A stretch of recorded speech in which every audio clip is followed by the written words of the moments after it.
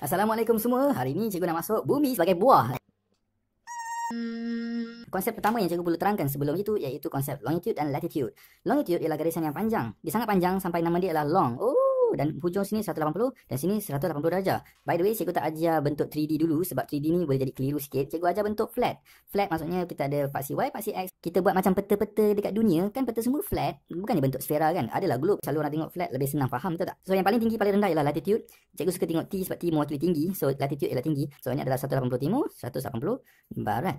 Perasan dia tak ada lagi simbol negatif. So dia telah digantikan negatif dengan barat dan selatan. Cara kita label koordinat kat sini berbeza dengan yang cara biasa. Contoh kalau sini 50 timur dan sini 60 utara, kita akan tulis dulu Y dulu baru X-nya iaitu 60 utara. Lepas tu barulah 50 timur. Kesalahfahaman yang paling besar dalam bab ni ialah cikgu perasan budak-budak selalu ingat, oh kalau sini 50 timur maka garisan 50 timur tu melintang. Itu adalah satu kesalahan. Perasan tak 50 timur ni dia buat dash kecil macam ni sebab sebenarnya dia adalah panjang macam ni. Semua ni adalah 50 timur. Dan dalam soalan kadang-kadang dia tulis macam ni. 50 timur. Dia tak tulis 50 timur kat sini, dia tulis dekat atas situ. Agak mengelirukan bila pelajar nampak kedudukannya di atas permukaan sfera 3D dia nampak bentuk 3D nampak tak? Kalau cikgu buat ke depan nampak flat. Bila cikgu condongkan nampak bentuk sengit pengit. Dan dia buat cuma macam tu je. Dia tulis atas sini 50 timur. So 50 timur actually yang garisan nampak macam sengit ni 50 timur. Sebenarnya dia adalah tegak. Nampak tak tu? Dia tegak kan? Lol. So dia adalah garisan lurus ke bawah sini kalau dalam bentuk dua dimensi. Bentuk 3D, sengit, bentuk 2D, flat, tegak. Okay? Dan sama juga untuk garisan melintang. Kalau sini dia tulis 20 utara, maka 20 utara latitude bukanlah garisan yang menegak, dia adalah garisan yang memanjang. Okey, sama macam dalam paksi X, paksi Y. Pelajar selalu confuse bila cikgu cakap, okey, dekat mana X sama dengan X sama dengan 6. X sama dengan, dengan 6 bukan macam ni, tapi dia adalah macam ni. Okey, so basic kena strong. Konsep berikutnya, beza sudut. Beza sudut, contoh cikgu ada kat sini 50 timur dan kat sini cikgu ada 80 timur. So, berapa beza sudut antara dua titik ini? Bila kita kira beza sudut, basic kita sama iaitu kalau cikgu ada dulu paksi X, paksi Y, kalau kat sini 10, sini 2. Berapa jarak antara ni dengan ni? Kita akan ambil yang paling kanan tolak yang paling kiri. So, kanan tolak kiri. Selalu macam tu. So, sama juga sini. Kanan tolak kiri. So, dia akan jadi 80 timur tolak 50 timur. Tapi kat sini ada simbol T. So, T ni kena ubah jadi apa? Plus. T ni tukar jadi plus. Oh sorry buruknya. Tolak campur 50. Tambah tak itu 5 tak apa. So jawapannya jadi 30. Maksudnya beza sudut antara dua-dua ni ialah 30 darjah. Contoh soalan yang lebih sophisticated sikit. Kalau kita ada perbezaan kedudukan. Contohnya sini 50 timur dan sini 40 barat. So bila cikgu nak tahu beza sudut antara dua-dua ini. Cikgu akan ambil paling kanan tolak paling kiri. So paling kanan kita 50 timur tolak paling kiri 40 barat. Bila tolak simbol masih sama. So cikgu hapuskan T. Dia akan jadi tambah dan barat. Cikgu tukarkan dia jadi negatif. So kat sini cikgu ada 50 tolak tolak 40 okey sebab ada dua negatif kat sini. Maka dia jadi tambah. 50 campur 40 dapatlah 90 darjah. Maksudnya apa? Beza sudut antara sini dengan sini ialah 90 darjah. Beza sudut ditulis oleh simbol theta. Beza sudut untuk titik atas bawah pun sama juga. Katalah dekat sini 45 utara dan sini adalah 10 utara. Berapa beza sudut? Beza sudut ialah paling atas tolak paling bawah. Itu yang biasa kita pakai betul? So atas 50 utara tolak yang bawah 50 utara. Utara ditukar kepada simbol positif. Utara tukar simbol positif. Maka kita selesaikannya dapat 35. Untuk beza sudut, simbol positif tidak membawa apa-apa makna. So maksudnya kat sini cuma 35 darjah. Macam mana pula kalau kita ada sudut satu dekat atas, satu dekat bawah? Contohnya macam ni kat sini. Cikgu labelkan sini sebagai sebagai hmm fikir-fikir-fikir 40 selatan. Sini 10 utara, 40 selatan. Berapa beza sudut kat situ? Kita akan ambil macam mana? Atas tolak bawah. So atas kita apa? Utara tolak 40 selatan. Bila tolak simbol kena tukar. So Oh, lupa theta ya, beza sudut. So, utara adalah positif, tak tulis pun tak apa. Selatan ialah negatif. So, ada dua negatif kat sini, nanti dia jadi positif. 10 tolak-tolak 40 jadi tambah. Maka jawapan dia ialah 50 darjah. So, beza sudut antara sini dengan sini ialah 50 darjah. Kadang-kadang kita perlu bergerak. Kita perlu gerak, katalah dekat sini 50 timur, cikgu nak bergerak ke kiri sebanyak 120 darjah. Okey, so maksudnya beza sudut dia 120 darjah, cikgu nak gerak ke kiri. Formula kita macam dulu juga. Contoh kalau cikgu ada kat sini 10, cikgu nak pergi ke kiri sebanyak 6 cikgu akan buat apa? 10 tolak 6. Maksudnya apa? 10 tu yang mula-mula. Mula-mula tolak dengan yang kita pergi ke kiri. So kiri, kiri maksudnya negatif. Sebab tu ada negatif kan ke kiri. Kalau tambah ke kanan. Ha, tambah juga maksudnya atas dan tolak juga maksudnya ke bawah. So kat sini, cikgu akan buat macam mana? 50 timur, iaitu kita punya titik permulaan, pergi ke kiri. So kita tolak dengan 120 darjah. T ini ditukar menjadi simbol positif 50 tolak 120 dan dapat jawapan negatif 70. Negatif kat sini mewakili dua perkara. Sama ada dia mewakili barat ataupun dia mewakili selatan. In this case, cikgu tengah bergerak kiri kanan. So, kita akan ambil option barat. So, jawapan dia ialah 70 barat dekat sini. Itulah titik yang berada 120 darjah ke kiri. Contoh, kalau cikgu ada garisan, katalah kat sini ada 55 selatan. 55 selatan kadang-kadang ditulis kat titik, kadang-kadang ditulis dekat sini 55.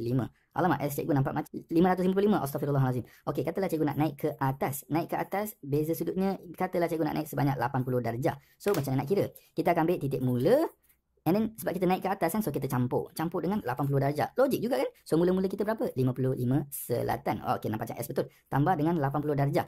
S ni kita tukar, dia jadi apa? Negatif. Okey, so negatif 55 campur 80 dapatlah 25 darjah dan jawapan dia adalah positif. Maksudnya kita berhenti dekat 25 darjah. Dekat belah atas positif, maksudnya dia adalah utara. So 25 darjah utara. So ada dua jenis diameter. diameter selarian latitude ataupun pendek cerita DSL dan lagi satu diameter bumi atau short form dia DB. Diameter selarian latitude maksudnya dia bergerak ke sana sebanyak 180 darjah. Dia berhenti kat sini dan ini akan jadi titik D.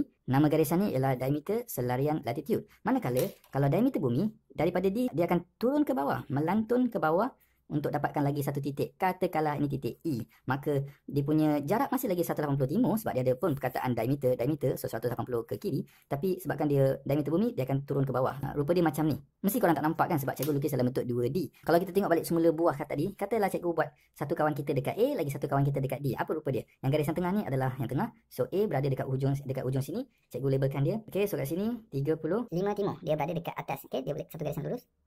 Ni titik A. Mana kawan kita? Ha, situ dia. Ha, dia duduk dekat A. Dan kawan seorang lagi tu duduk dekat seberang bumi di sana. Apa jadi apa maksud diameter ni? Maksudnya dia akan tembus tau. Now, mungkin nampak pelik sikit kat sini, tapi kalau cikgu tukar pandangan kita ke kutub utara, kita akan nampak dua kawan ni terletak pada satu garisan yang lurus, betul tak? So apa cikgu nak buat? Cikgu nak gali tanah kat sini. Gali gali gali gali gali sampai cikgu tembus ke dia. Macam mana rupa dia? Ha, cikgu ada lidi kat sini. Ha, kita cocok. Cocok kat sini, cikgu akan bergerak tegak melintang macam tu. Here we go. Bismillah. Boom, terkeluar kat sana masya-Allah. So nampak tak dia dah terkeluar kat sana? Ah, terkena kawan dia ni. Mesti korang tertanya, kat mana yang 180 darjah tu? Cikgu nak cuba bedahkan dia dan tengok apa rupa dekat dalam. Maka bila cikgu buka atas ni, puh, kita dapat permukaan satu garisan lurus dan itu adalah diameter bumi. Siapa yang tak nampak, cikgu lukiskan. Ni garisan lurus. Tadi kata dia buat kat sini kan? Perasan tak? Saya ada garisan kat sini kan? Shh, kalau cikgu buat sampai ke pusat bumi, rupa dia macam ni. Tadi A ni berada dekat 35 timur. So, rupa dia macam kat situ, 35. Maka kawan dia berada seberang ke sana. Satu garisan lurus, 180, tolak 35, kita akan dapat 145 darjah. So, 145 juga ditulis dekat sebelah luar permukaan bumi, dekat sebelah sini. Tapi tak tulis kat sini kan? Dia tulis kat sebelah bawah kita kat sini. 100 tak perlu lima barat. Ha, situ dia ya. Wow, bentuk 3D nampak tak ada tembus. Kalau tak faham tak apa, asalkan faham konsep yang garisan lurus ni ialah 180 darjah, anda boleh kira kedudukan D. Bagaimana pula dengan kawan kita yang berada dekat Bagaimana pula dengan kawan kita yang berada dekat sebelah bawah sini? Patah balik. Itu A kita tadi kan? Dia dah tembus kat sana. Bentuk yang lagi satu, dia akan tembus ke pusat bumi. Ha, cara kita masukkan bukan melintang lagi tapi macam ni. Tegak dia akan tembus ke pusat bumi dan tembus ke belah sana. Ni semua tak nampak sebab dia berlaku, berlaku dekat dalam. So, cikgu cocok kat sini, cikgu tembus ke dalam. Dia tembus kat sana, masya-Allah. Okay, so A dah masuk, kita dah tembus ke pusat bumi tak nampak and then dia keluar kat sebelah sana. Bila tembus kat sebelah sana, maka kita akan dapat satu bentuk lain pula. Cikgu buat pembedahan.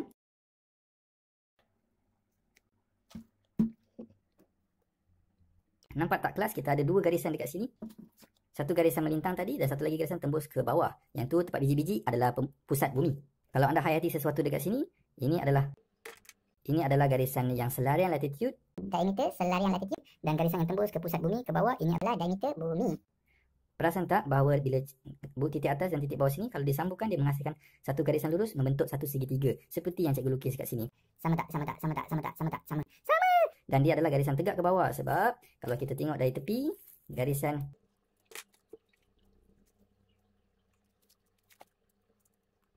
daripada A tembus ke sana diameter selarian latitude sebab dia ada 180 darjah kat situ kan. 180 darjah. Kat sini tak nampak dah dah padam. Lepas tu kalau kita tembus ke bawah ke cocok sini tembus ke bawah dia akan keluar dekat sebelah bawah dia. Sebelah bawah sini ada kesan sikit. So itu yang menghasilkan diameter ke bawah. Nampak tu? Tu yo smart gila babe. Kesian buah ni. Cikgu rasa boleh makan lagi kot. Jadi kalau kawan dia berada dekat sebelah bawah sini kat ketinggian. Ketinggian dia iaitu 25 utara akan jadi sama dengan 25 selatan okey kedudukan E 25 selatan 145 barat yang ni pula 25 selatan 145 barat. Tambahan ya, ini tambahan. Kalau lah dia bagi diameter, diameter bumi. Okey, insyaAllah dah cukup dah. Kita boleh cuba buat soalan SPM.